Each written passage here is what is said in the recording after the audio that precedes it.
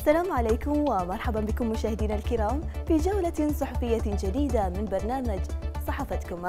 نستعرض معكم أهم أخبار الصحف المحلية الصادرة اليوم الاثنين الموافق الأول من مايو 2017 وبهذا اليوم مشاهدينا الذي يصادف يوم العمال العالمي تتقدم أسرة البرنامج بالشكر والتقدير لكل عامل في جميع المجالات. وبالتأكيد نبدأ جولتنا بأبرز ما جاءت به صحفنا المحلية من عناوين على صفحتها الأولى ونطالع من صحيفة الوطن العناوين التالية.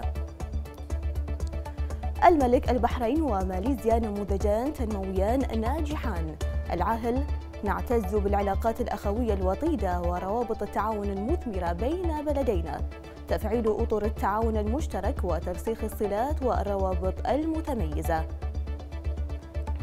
وزير الداخلية رعاية الملك وفرت الحياة الكريمة لرجال الأمن توزيع وحدات عاله الإسكاني على ضباط المستفيدين. ونقرأ من صحيفة الأيام. هذه العناوين. جلالته وصل إلى ماليزيا في زيارة رسمية تستغرق أربعة أيام. الملك فرص واسعة للتعاون الاقتصادي والصناعي والسياحي. لا مساس بالخدمات الصحية للمواطنين. الصالح ميزانية الصحة لن تتأثر بالتقشف أما صحيفة أخبار الخليج فقد عنونت رئيس الوزراء يستقبل وزير الداخلية ويؤكد ما تحقق على صعيد التعاون الخليجي كبير لكن طموحنا أكبر. نحتاج إلى أقصى درجات التنسيق العسكري والأمني والسياسي لمواجهة الأخطار المشتركة. حملات تفتيشية على أختام الذبح وإجراءات ضد المخالفين. الزراعة توفر مسلخين معتمدين لتلبية زيادة الذبائح في رمضان. أي قيد على حق الحكومة في تأسيس شركات مرفوض مجلس الشورى يرفض تخصيص نسبة من أراضي الاستثمار لمشاريع الإسكان. الحكم الحادي وثلاثين من مايو. جهاز قضايا الدولة يطالب بحل جمعية وعد. ومع صحيفة الوسط نقرأ كرم 257 عاملا بمناسبة عيد العمال. وزير العمل ارتفاع متوسط أجور البحرينيين إلى 519 دينارا. ومع صحيفة البلاد والتي عنونت 99% نسبة التطعيم المجاني في البحرين. الصالح للبلاد لا تقشف في الخدمات الصحية. البحرين الثالثة عربيا بتنافسية السياحة.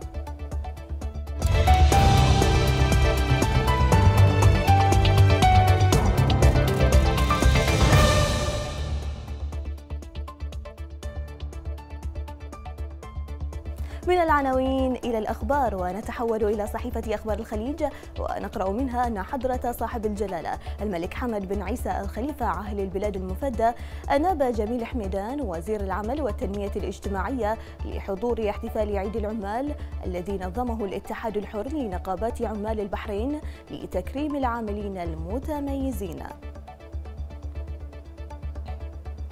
إلى ذلك نطالع من صحيفة أخبار الخليج أن نقابة العاملين في رياض الأطفال ودور الحضانة حثت في بيان رسمي لها بمناسبة يوم العمال العالمي.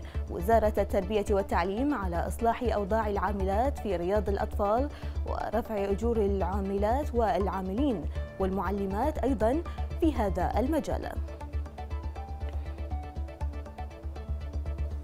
أشارت صحيفة أخبار الخليج إلى أنه تحت رعاية الشيخ هشام بن عبد الرحمن الخليفة محافظ محافظة العاصمة وبدعم من بيت التمويل الكويتي تقيم محافظة العاصمة النسخة الثالثة من برنامج الشباب الشبابي ويكند في العاصمة خلال عطلة نهاية الأسبوع حيث يهدف البرنامج إلى تفعيل الشراكة المجتمعية ضمن نشاطات متنوعة تسهم في بناء القدرات والطاقات الشبابية.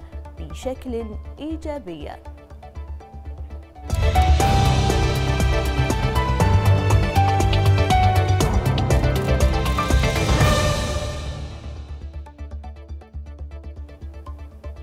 كتب عبد العالي الغسرة مقالة في صحيفة البلاد بعنوان الأول من مايو.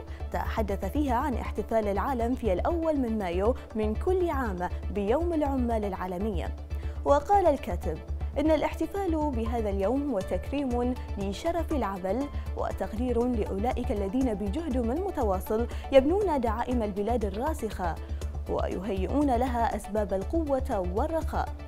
وبين الغسرة أنه أصبحت للعمال نقابات وجمعيات تدير شؤونهم حيث أصبحوا يتمتعون بالضمان الاجتماعي والرعاية الصحية الكاملة.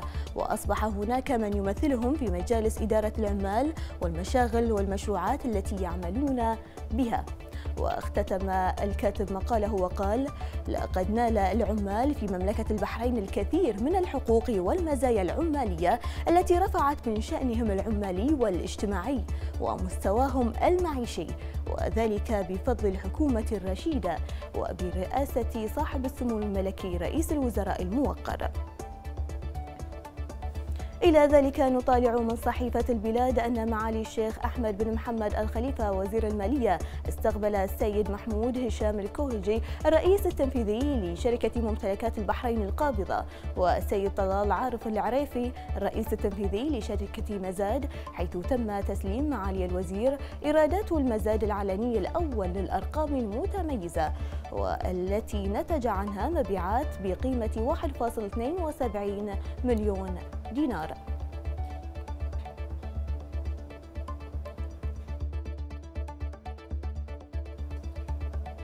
نشرت صحيفة البلاد أن مملكة البحرين احتضنت حفل تخريج الفوج الثاني عشر من طلبة جامعة الخليج العربي والبالغ عددهم 466 خريجا وخريجة من أبناء دول مجلس التعاون لدول الخليج العربية. وذلك بمركز عيسى الثقافي برعاية سعادة الدكتور ماجد بن علي النعيمي وزير التربية والتعليم رئيس مجلس التعليم العالي.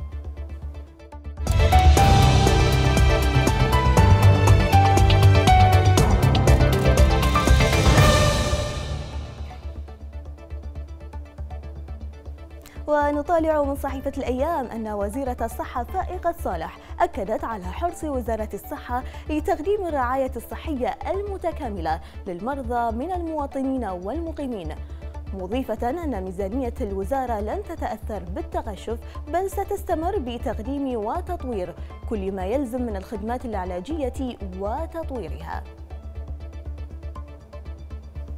لفتت صحيفة الأيام إلى أنه بمناسبة يوم العمال العالمي جدد تجمع الوحدة الوطنية دعوته لجميع الكيانات النقابية في البحرين بضرورة تحقيق الوحدة العمالية بعيدا عن أجندات التسييس التي تعطل مسيرة العمل النقابي وتتسبب في إضعاف دور النقابات في الارتقاء بواقع العمال في مملكة البحرين.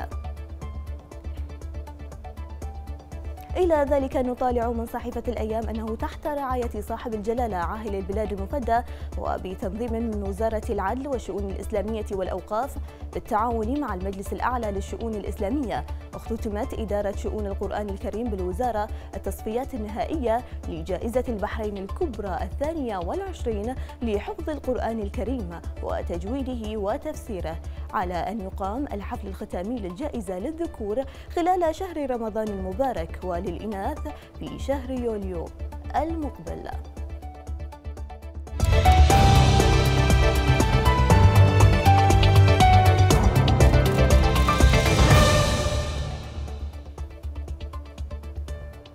ومع صحيفة الوسط حيث نقرأ منها أن وزير العمل جميل حميدان أكد أن متوسط أجور البحرينيين في القطاعين العام والخاص ارتفع إلى 519 دينارا نهاية العام 2016 وذلك خلال تكريم 257 عاملا وعاملة بمناسبة يوم العمال العالمي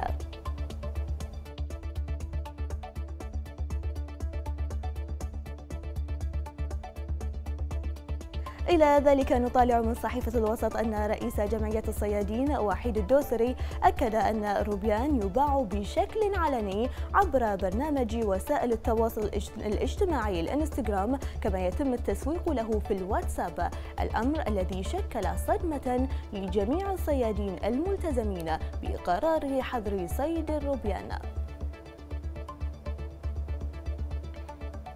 لفتت صحيفة الوسط أن وكالة الزراعة والثروة البحرية أعلنت عن توفير مسلخين مؤقتين بإشراف بيطري كامل بجوار مسلخ الهملة تم اعتمادهم من قبل إدارة الرقابة والصحة الحيوانية ضمن استعداد الوزارة لشهر رمضان الفضيل ووفقا لأفضل المعايير الصحية.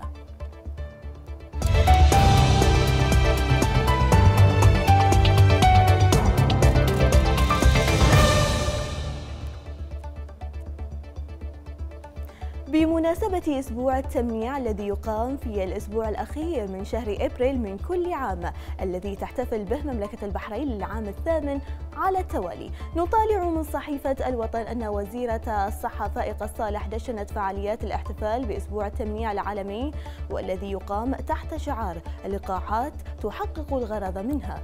وأكدت الوزيرة أن البحرين خطت خطوات متقدمة في مجال اللقاحات والسيطرة على الأمراض المعدية بفضل الدعم اللامحدود من القيادة والجهود التي تقوم بها العاملون في الحقل الصحي في القطاعين الحكومي والخاص. إلى ذلك نطالع من صحيفة الوطن تأكيد رئيس جمعية تنمية المؤسسات الصغيرة والمتوسطة أحمد السلومة بأن تجارة الشنطة ظاهرة خطيرة معتبرا أن من يمارس هذا النوع من التجارة يحتال على العديد من الإجراءات الإدارية والرسوم والضرائب الجمركية وتكاليف التشغيل وذلك يمكنه من البيع بأسعار أقل من سعر السوق المتعارف عليها. نطالع من صحيفة الوطن أن جمعية معارف البحرين تعتزم إطلاق قاموس موحد بلغة الإشارة خاص بالمصطلحات المصرفية وبما يمكن شريحة الصم والبكم في البحرين من التعامل مع البنوك وإجراء جميع المعاملات المصرفية بسهولة. وقبل ختام جولتنا الصحفية نبقى مع الكاريكاتير.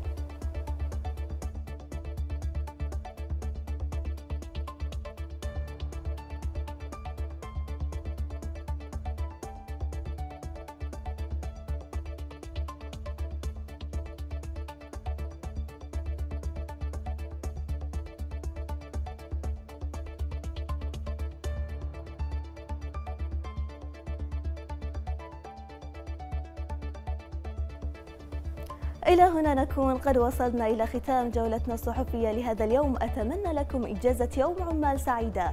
وإلى اللقاء.